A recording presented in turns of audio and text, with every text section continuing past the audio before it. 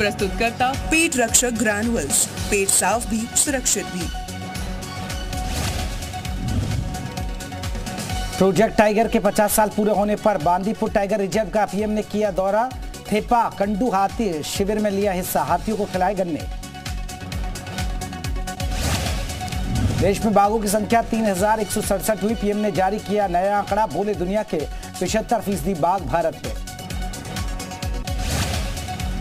CM योगी ने गोरखपुर को दी हज़ार करोड़ की सौगात। विरोधियों पर साधा निशाना कहा, पहले की सरकारों में होता था भ्रष्टाचार और अपराध, अब हो रहा है विकास। हरिद्वार में आज सीएम पुष्कर सिंह धामी का दौरा, ज़िले के अधिकारियों के साथ विकास कार्यों की करेंगे समीक्षा। दोपहर बाद बीजेपी युवा मोर्चे प्रदेश कार्य समिति में बैठक में हिस्सा लेंगे। आज झांसी पहुँचेंगे डिप्टी सीएम केशव प्रसाद मौर्य, प्रभावी मतदाता सम्मेलन करेंगे संबोधित अधिकारी के साथ करेंगे बैठक। यूपी निकाय चुनाव को लेकर लखनऊ में सीटों और वार्डों के आरक्षण की आपत्तियाँ निस्तारित। वार्डों के लिए दर्ज कराई गई थी दो सौ अट्ठावन आपत्तियाँ। कभी भी जारी हो सकती है अधिसूचना। यूपी में अपराधियों का शिकंजा गिरफ़्तार होने वाले सभी अपराधियों को लिया जाएगा फिंगरप्रिंट, तैयार होगा डेटाबेस। यूपी की जेल में बंद माफियाओं की मनमानी, अब होगी बंद। पाँच आईपीएस अधिकारियों की टीम बारह जेलों का करेगी निरीक्षण। डीजी जेल ने गठित की कमेटी। संभल में फेसबुक पर हिंदू महिलाओं को मुस्लिम युवकों से निकाह करने की आपत्तिजनक टिप्पणी। पुलिस ने पोस्ट करने के आरोप में युवक को गिरफ़्तार किया।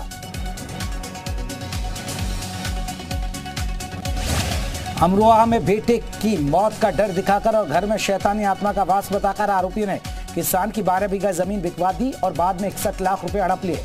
थाना नौगावा सादात पुलिस ने चार महिलाओं समेत चौदह लोग खिलाफ केस दर्ज किया। संभल में आपसी विवाद में शख्स पर पत्नी को जबरन तेजाब पिलाने का आरोप, महिला को गंभीर हालत में निजी अस्पताल में भर्ती कराया गया। यूपी के संत कबीर नगर में खेत में लगी भीषण आग, ग्रामीणों के साथ आग बुझाते दिखे विधायक।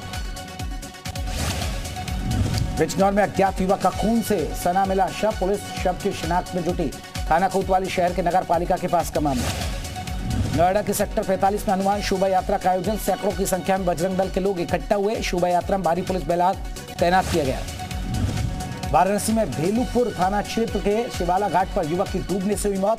घाट पर नहाने के दौरान गहरे पानी में जाने के कारण युवक डूबा। झांसी में सड़क पर खड़ी कार अचानक धू धू कर जलने लगी और देखते ही देखते कार आग का गोला बन कड़ी मशक्कत के बाद रोड किनारे जल रही कार का आग पर काबू पाया गया। लखनऊ में बाइक सवार युवक को दबंगों ने बेरहमी से पीटा। वीडियो का संज्ञान लेकर पुलिस ने दर्ज किया मुकदमा। युवक को लाठी डंडों से पीटने का वीडियो वायरल। दिल्ली में लगातार बढ़ रहा है कोरोना। एक दिन में सामने पाँच नए मामले, दिल्ली में तेईस दशमलव शून्य पाँच प्रतिशत हुआ पॉजिटिविटी रेट। यूपी में बढ़ते कोरोना के मामले को लेकर अलर्ट पर डिप्टी सीएम ब्रजेश पाठक ने टेस्टिंग बढ़ाने के दिए निर्देश।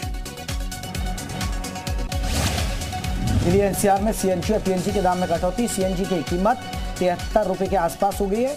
वहीं आपको बता दें, पीएनजी अड़तालीस रुपए प्रति यूनिट के आसपास हुई है।